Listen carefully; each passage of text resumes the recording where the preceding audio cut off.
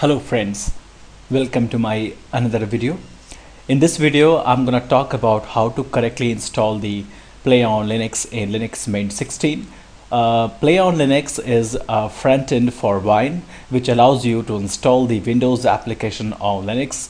So to install, just open the command line terminal and type this sudo apt get install play on Linux. And uh, after this uh, I'm going to type the dependency package uh, so that you don't get the error later on. So uh, type here curl. This is the one dependency package. Another package is p7 zip dash full.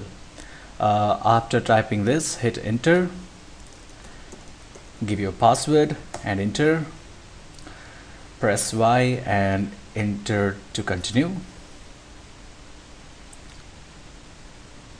So PlayOnLinux and and the two dependency packages are installed.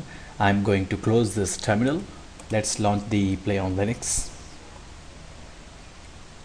Searching here play on Linux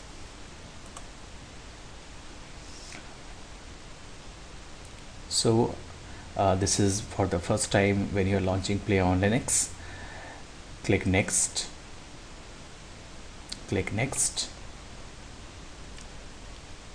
Wait for this refreshing PlayOnLinux uh, process to complete.